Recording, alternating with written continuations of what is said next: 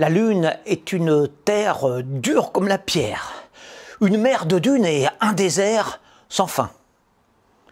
C'est une contrée sans nulle âme, dénuée de vie, pas un souffle, ni de vent ni de bête.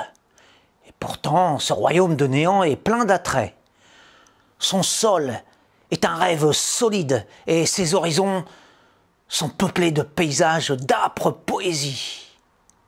Sur ce globe de désolation règne l'absolu silence, l'éternelle absence, la majesté du rien.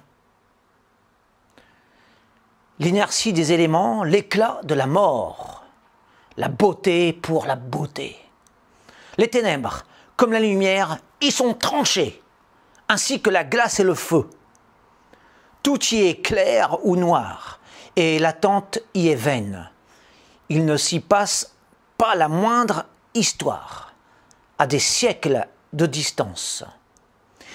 Des millions de jours et de nuits s'y écoulent, tous pareils. Les images y sont les mêmes, inchangées, immuables. Sur cet autre monde, les roches sont gelées ou brûlantes, mais ne bougent point. Les ombres seules, qui naissent à l'aube pour s'étendre jusqu'au soir, animent cet océan immobile. Mais parfois aussi, cette planète jaune reçoit la visite d'êtres étranges dans leur maison volante, créatures baroques, folles et mystérieuses, appelées cosmonautes. Bon alors, c'était mon 80e texte sur la Lune, alors j'espère que je ne vous lasse pas avec cette euh, série de, textes euh, qui doit atteindre le numéro 100. Hein.